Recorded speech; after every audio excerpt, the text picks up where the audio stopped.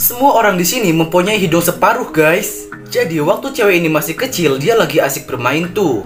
Terus dia mendengar ada orang yang mengetuk pintu. Dia akhirnya bergegas membuka pintu tersebut. Ternyata ada seorang pria berambut panjang di sana. Dia mengajaknya bicara dan tangannya perlahan mendekat ke wajah cewek ini. Dia juga menjepit hidung cewek itu dan mengambilnya, guys. Setelah mengambil hidungnya, pria itu tertawa bahagia. Kemudian dia pun pergi dari sana. Setelah itu dia mengamati hidung tersebut lalu dimasukkannya ke tas yang berisi hidung banyak kayak gini guys, serem banget.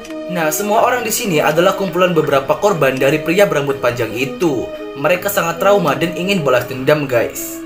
Kakak beradik ini selalu memakai topeng kalau pergi ke sekolah. Itu membuat semua orang jadi ketakutan. Meskipun seperti itu, mereka selalu baik seperti membantu nenek ini menyeberang di jalanan. Dan saat di sekolah, tiba-tiba adiknya ditahan satpam dan dilihatin seluruh anak sekolah guys. Beruntung si kakak menjelaskannya dan akhirnya si adik pun bisa masuk ke dalam kelas. Si kakak sangat menyayangi adiknya sehingga dia selalu bersamanya dalam keadaan apa pun. Mereka main bareng, makan bareng, dan saling menyayangi satu sama lain. Keesokan harinya, sang adik begitu terkejut melihat semua orang di kelasnya memakai topeng alien seperti dirinya. Ternyata semua temannya sudah tahu kalau si adik sakit parah dan memakai topeng untuk menutupi alat oksigen di mukanya. Semua temannya pun memeluknya sehingga membuat sang kakak pun sangat terharu guys. Yang sayang sama saudaranya, coba komen sayang dan like video ini ya.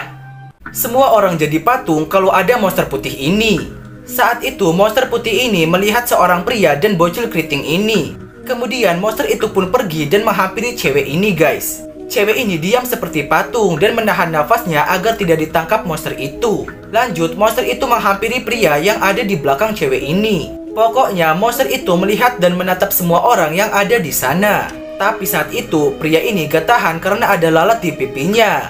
Lalat itu terus berjalan di pipinya bahkan sampai mau ke matanya. Dia pun berkedip dong, eh tapi ternyata kedipan aja monster ini bisa merasakannya. Sampai akhirnya monster itu pun langsung menghantamnya sampai mampus. Sedangkan cewek ini lari kabur bersama cowok dan bocil keriting itu guys. Suster ini jahat banget guys. Dia selalu meracuni susu yang akan diminum bayi ini. Jadi guys, cewek itu baru diterima kerja sebagai suster di rumah ini. Suatu hari ibu dari bayi itu bingung kenapa bayinya tiba-tiba sakit. Saat sang ibu memanggil dokter, ternyata dokter mencium bau racun di dalam susu milik sang bayi.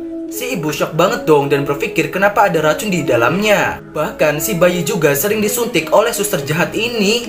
Dan setelah si suster menyadari kalau dia sudah ketahuan, dia pun langsung kabur sambil membawa bayi tersebut. Ternyata dia itu gangguan jiwa guys. Dia begitu senang melihat ada bayi meninggoy di depannya. Beruntung dia segera ditangkap agar tidak ada korban lagi. Yang sayang sama orang tuanya, coba like dan komen video ini ya.